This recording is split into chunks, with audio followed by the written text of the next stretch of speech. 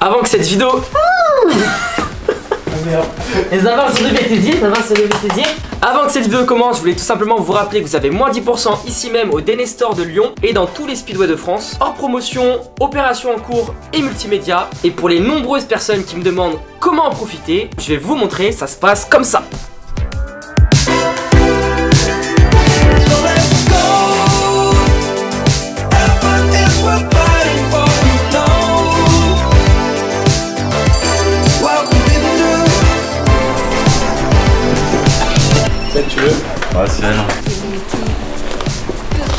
Acheté un beau bébé. La belle combi. J'ai vu sur les vidéos de sushi qu'il y avait moins de 10% maintenant de sa part. Effectivement, il y a moins 10% sur tous les magasins Speedway de France. Non, sur tous les speedways de France et au Denester Lyon, donc tout ce qui est hors promo, t'as moins 10% et tu peux en profiter toute l'année sans problème.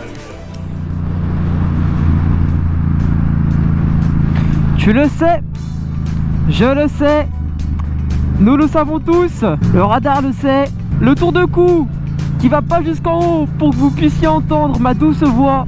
Le sait à moitié, le casque hyper ventilé le sait totalement, la température négative.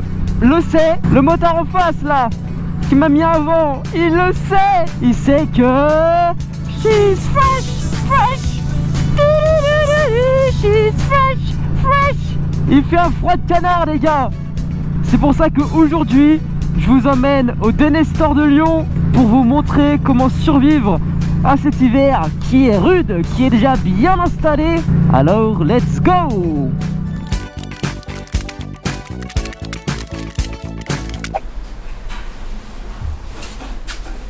Je t'appelle comment dans la vidéo? Je t'appelle Stéphane ou pas? Attends, je m'éclaircis la voix, on est pas mal. Hmm.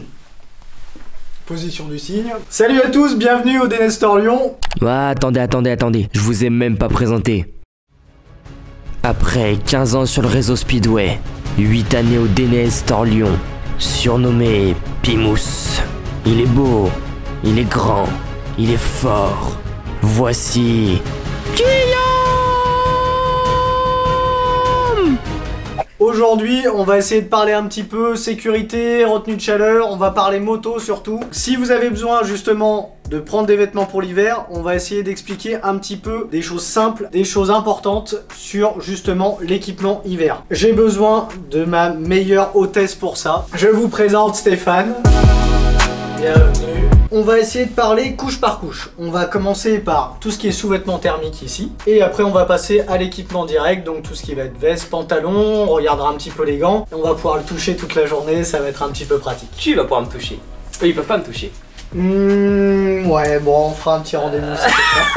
Première idée reçue, généralement quand les personnes ont froid, on a tous tendance à vouloir mettre un pull, deux pulls, trois pulls, et généralement on a toujours très très froid. Il faut toujours avoir des couches à cette technique. Si vous mettez trop de couches, vous allez avoir une grosse bouffée de chaleur et justement pour réguler, le corps automatiquement va faire redescendre la température. Ça redescend, on transpire et après on a toujours froid. Sensation d'être un petit peu humide et toujours cette sensation d'avoir froid tout le temps. Quand vous avez des sous-vêtements thermiques comme ce genre de choses, il y a d'autres couleurs bien évidemment. Je tiens à le dire qu'il m'a passé un truc pour femme, et c'est tout à fait voulu. La première couche, ça va être une première couche régulante. Ça va permettre tout simplement d'avoir une circulation du sang beaucoup plus importante, beaucoup plus rapide, ce qui va éviter d'avoir des points froids. Le bout des doigts froid, le bout des pieds ou des choses comme ça. Là, les parties qui sont ici sont des parties à compression pour la circulation du sang. Et les parties qui vont être ici, ça va être tout simplement pour garder la chaleur des organes et avoir une très bonne retenue de chaleur sur le long. Sur ces premiers sous-vêtements thermiques, ça permet cette bonne régulation. Si vous voulez justement quelque chose qui soit correspondant à un très grand froid, il va falloir compléter ces sous-vêtements thermiques. Si vous avez un blouson moto qui n'a pas une bonne isolation, il est important d'avoir cette isolation sur un sous-vêtement thermique. Il n'y a pas besoin d'avoir les gros pulls à capuche, les gros pulls en laine. Quelque chose d'étanche à l'air, on va avoir quelque chose qui coupe vraiment l'air froid et ça permet tout simplement de rouler beaucoup plus longtemps avec la régulation en dessous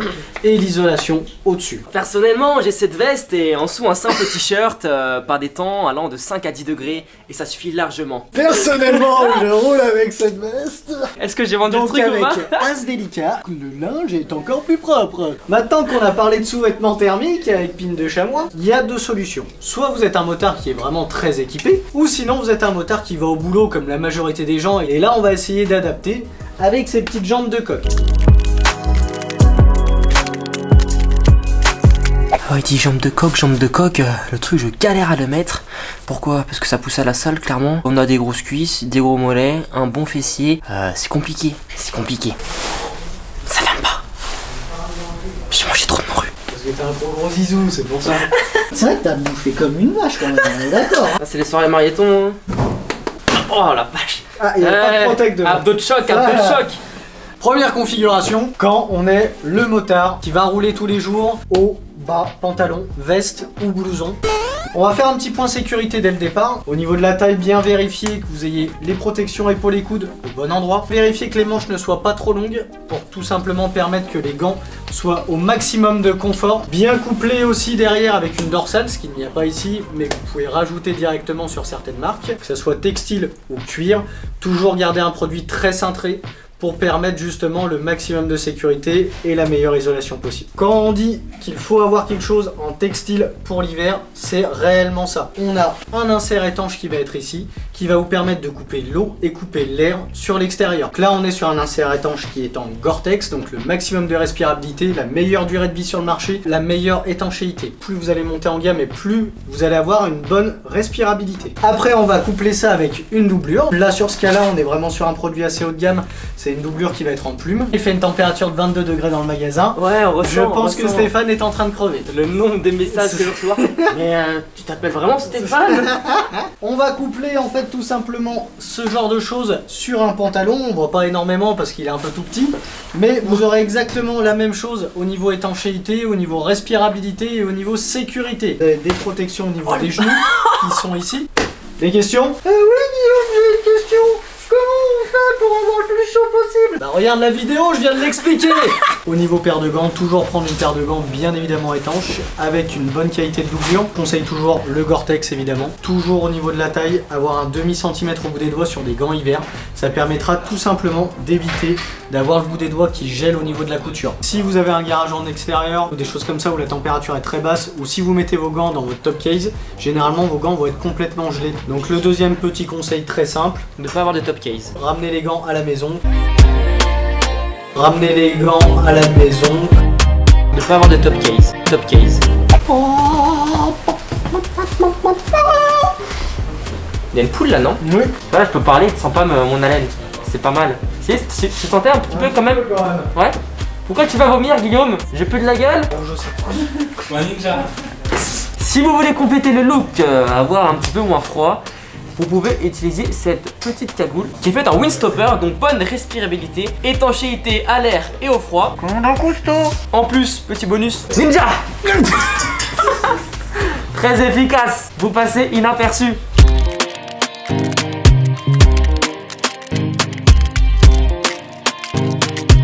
Que je reprends le. On n'est pas venu là déguisé en feuille de chou pour se faire bouffer le cul par les lapins Ça va frère va, Viens frère faire- Viens faire une vidéo frère Allez, fais la prise, bien Tu veux quoi?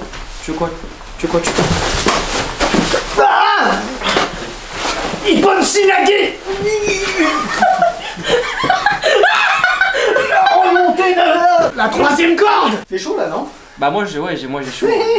Allez on est parti Ah, c'est chaud. Il y a toujours pas de Maintenant- protection là hein Maintenant je suis quand même assez galbé, tu vois. J'ai vu la main arriver, j'ai Voilà. Est très très bien.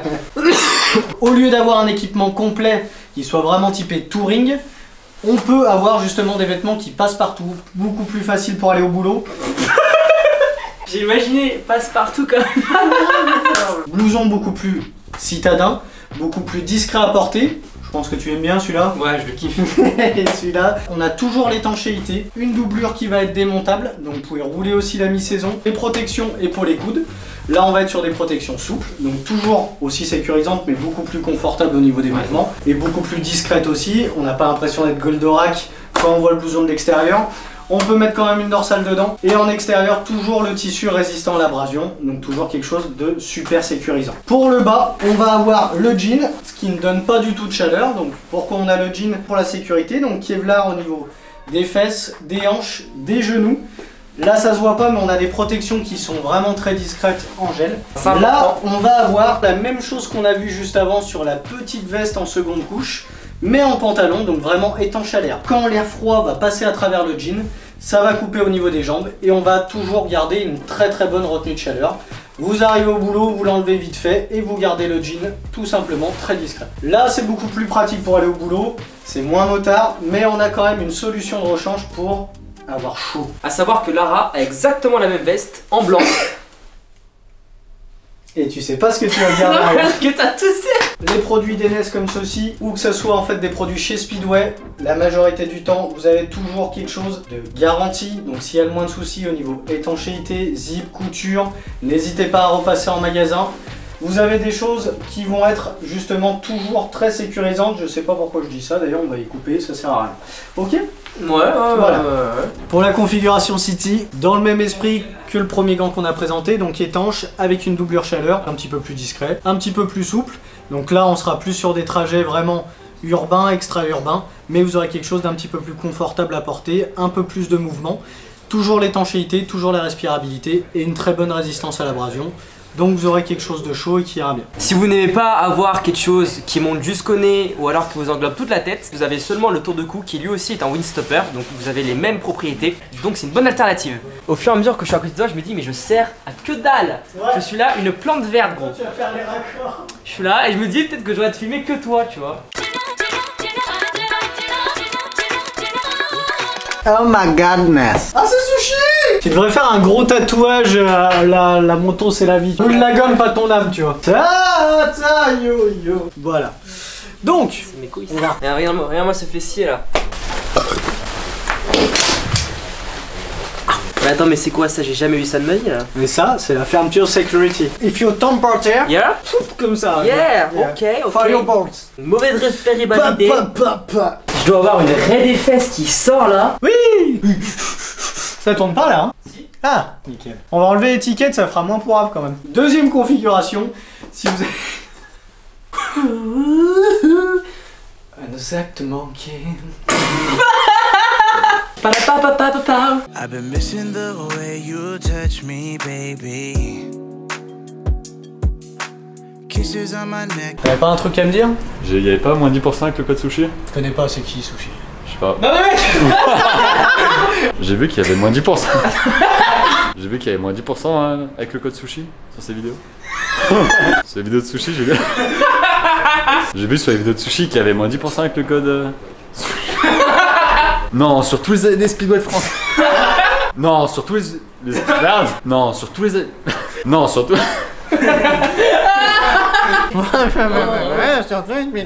Plus de 150 magasins. Ouais, il y en a 12, ça, ça devrait. Fuck my wife.